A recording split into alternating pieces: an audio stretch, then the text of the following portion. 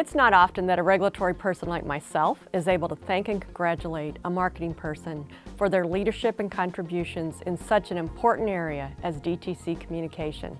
I'm so pleased to have this opportunity to recognize Joe's efforts and leadership in this area. Joe is a key developer and leads our DTC Marketing Center of Excellence. This is a group that supports all of our Amgen products and the group works to develop and execute on consumer and patient communications. These communications that are developed are ethical, responsible, and accurate and include the newest research such as health literacy as we strive to seek even better ways to communicate more effectively to patients. Joe and his group are dedicated and committed to serving patients, especially in areas of health and disease that are underdiagnosed or undertreated, as we believe these are areas where communication can make a positive difference not only for patients but society. Joe, as you accept this important recognition as a new Hall of Fame member, we congratulate you. On behalf of not only myself, but those in my group and our other colleagues at Amgen, we all want you to know how proud we are of you. And we are going to continue to expect great things from you. Again, congratulations. We wish you all the best. Thank you, everyone. I'd like to take a moment just to read a couple of comments from some current colleagues of Joe's an astute marketer, a quiet yet dynamic leader, piercingly insightful and provocative, a wonderful teacher. Joe, you are the consummate team player. Joe, you deserve this award as a Hall of Fame marketer because of your marketing skills as well as your ability to build great teams. I am privileged to be a business partner of yours and a special friend. Take a moment to enjoy the special award. You deserve it. Congratulations, Joe. Wow, Joe, Hall of Fame. Batting cleanup on the DTC Nationals. That's great, great honor. Um, but what many people in the audience probably don't know is that Joe might not have even made it to this, uh, this great day in his life had it not been for a little fate intervening. Uh, Joe and I were at the Yankees game, game four of the World Series in 98 when they swept the Atlanta Braves, and Joe and I were getting caught up in the celebration out in the streets of the Bronx, and uh, we went looking for our car ride home, and it was nowhere to be found. Uh, we almost got sucked up by the riot patrol, but we were able to escape onto the 4 train, and we actually took a New York City cab from Midtown Manhattan all the way out to Morristown, New Jersey. Had it not been for that, uh, that gracious cab driver who agreed to go off the meter and take us back out to New Jersey, God only knows where Joe would be today.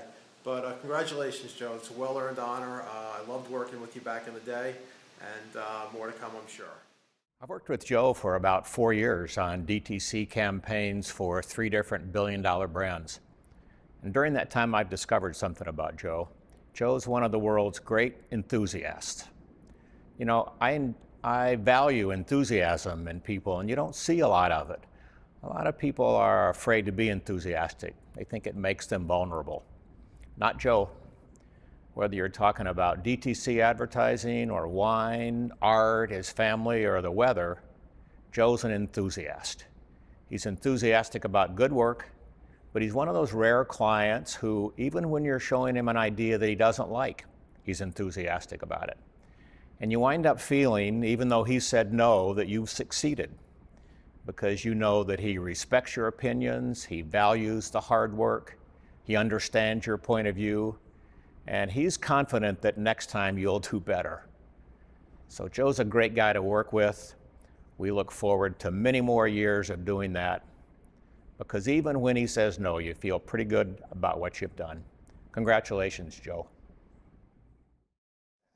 You know, I knew that I liked Joe Hoholick the day I met him.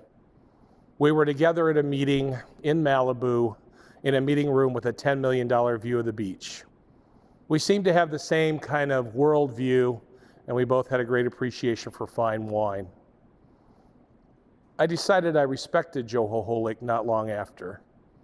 We were doing some market research, and we were together behind the glass in Chicago, listening as a 40 year old woman with a curable form of breast cancer told us how her oncologist was slowly killing her by not giving her the best chemotherapy regimen he could both of us wanted to vault into that room and tell her to seek someone no, really anyone else to treat her cancer. But ethics wouldn't allow that. I remember late that night deciding together that we would do whatever we had to do to make sure that no other patient would have to die because of a tentative oncologist. If I or someone I loved ever had a serious disease, I would hope that it was Joe Hoholick that was doing the DTC for that product. Because Joe's the kind of guy who is always the patient's advocate first. He figured out long ago that as long as you do the right thing by the patient, you're going to do the right thing by the brand. Tonight, Joe, I'm ahead of you chronologically in the program, but always, always, I will be your follower when it comes to doing promotion. From the bottom of my heart, congratulations. As a creative, Joe is that client you always dream about. I can still remember the first time he met with Abelson Taylor.